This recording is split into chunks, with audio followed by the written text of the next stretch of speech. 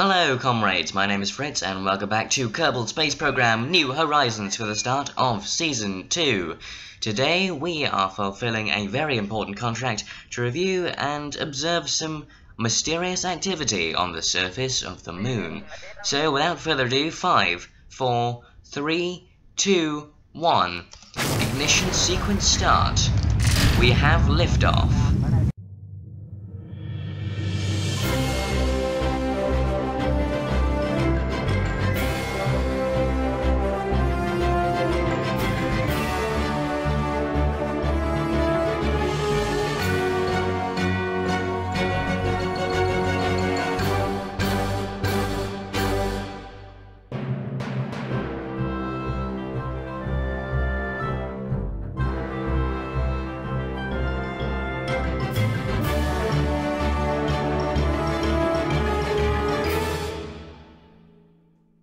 Indeed, it is. Welcome back. New Horizons returns to a channel near you. And uh, it's shaping up to be a good season. We've got more missions to accomplish, more frontiers to explore, and, well, we're starting off modest. Uh, we're going to the moon once again. Uh, but this time, since we've already landed on the moon conventionally, um, we have some research missions to do. Now, these external three boosters are going to fire in a second. Uh, the Sepratrons are going to go first because we've had issues with errant Sepratrons um, in the previous season, so hopefully this can cure that. Off they go, and go! And it's it's not bad, it could have been better, but and well, we've got some rather interesting pitch over situations going on.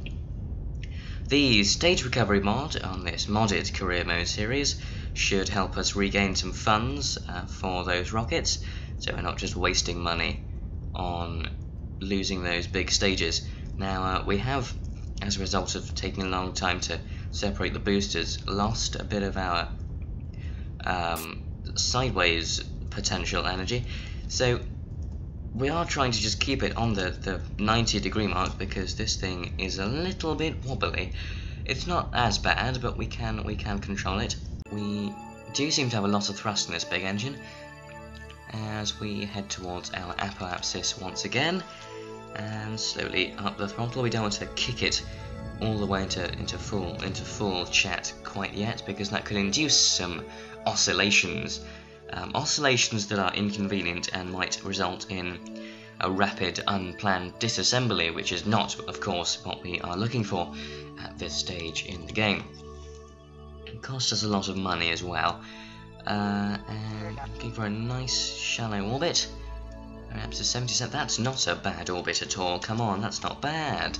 Okay, sit rep, we are pointing the wrong way, and I've just used the engines to, to fire myself in the right direction.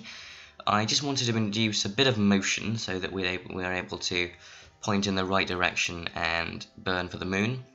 I don't actually have any RCS reaction control monopropellant thrusters on the rocket because the upper stage is maneuverable enough to move with just the power of the reaction wheels within the space pod. However, we are on course at the moment. I'm going to re-enable the thing here and try and find where the moon is. Now, the most optimum place to burn is, of course, as the moon rises, or informatively, I should say, for new players, as the moon rises is the most efficient place of burning for lunar intercept. And there it is. We've overcooked that a little bit. We'll just correct for that. And yes there we go. Nicely done. Get rid of that stage and slowly because that's going to knock into that. Remove that stage there. That rocket sails into the abyss. Uh, packing a bit less thrust with this tiny uh, LVT-15 Reliant engine. I don't think this is the small one with the gimbling. Um, we don't need gimbling at this point. That is only for atmospheric situations. Um, when we need more control authority. But yes, our orbit is expanding nicely, and uh, we should be on our way in no time at all. Okay, we're back, and we have just done a deorbit burn to basically head down to the surface of the moon. Now the reason why we're doing this, we are nowhere near our signal, by the way, our anomalous data source.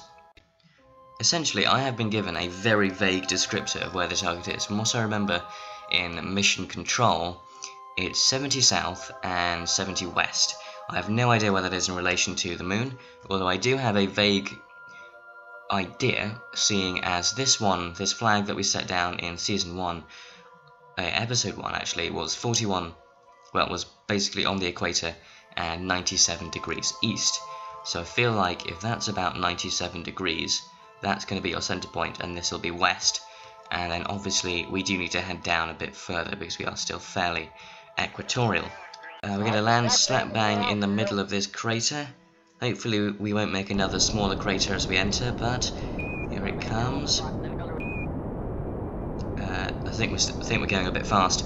No, and we're to die. I think. That's 190, 190 meters per second, slowing down. Steady as she goes, and oh no. Well, that went a bit wrong. We are still sailing quite quickly across the regolith here, but uh, 25 meters per second isn't slow. Um, yeah, Malvis, Malvis might be in a bit of trouble here. Let's get him out. Uh, let's see. See if we can't use him. Uh, or at least make him survive. Escape! Escape! Run away! Save yourself! No! It's coming in hot, and, uh, well, yeah. There we go. We might survive this. Just kill that lateral velocity. The pod, ah, the awkward moment when the pod actually survives as well. And, oh no, the pod is a bit broken. Wow, he's sliding on his face quite unceremoniously there. Uh, is that the pod? Is that the telescope? That, that I think was the telescope. That is a lot of science, well, a lot of money that we've uh, that we've just lost there. Down we come now for take two. I'm burning a little more conservatively so that we don't end up slamming into the surface again. Um, looks like things are going to plan. I'm just going to ease off a bit. It's 190 meters per second there. Coming down towards the surface. Let's see what we can do. Okay, I think we're going a bit too fast once again. Uh, yes, well, we're going to crash with less vigour than we did last time. But hey, and yeah, 30, 20, 90 meters per second. Oh, this might actually be pretty good, he says, as 30... Well, yeah, we're fine. We're fine, we're fine, we are not going to die. We survived! That was very close, actually. Hang on, um, right, what we need to do is maybe just... Yeah, what I think is a good plan is to slow my sideways movement here because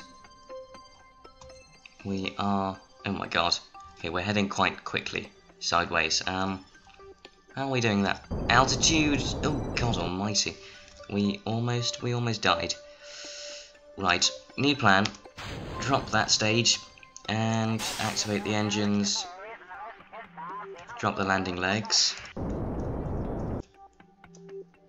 Slide out. Well, the ground is quite close. Shall we say it's quite close? It is quite close. Yeah, uh, we're going to need some serious, serious... Oh dear. Retrograde. We found it just in time, actually. That's That was close. And, wow, we... Don't tip, don't tip over. Come on. Uh, perched precariously on one leg. That was good. And... Oh no! Don't tip... Ah, oh, well, we cocked it up. Well, um... Hmm, what can we do? EVA? We did it! We and it's... Right, we, are, we have literally been ejected at great speed. This could be bad for the spacecraft, I have just realised. Right, down, down, down, down, down, down. it does mean we have a kind of saving grace here, but spacecraft is going back towards the ground. Oh no, come on.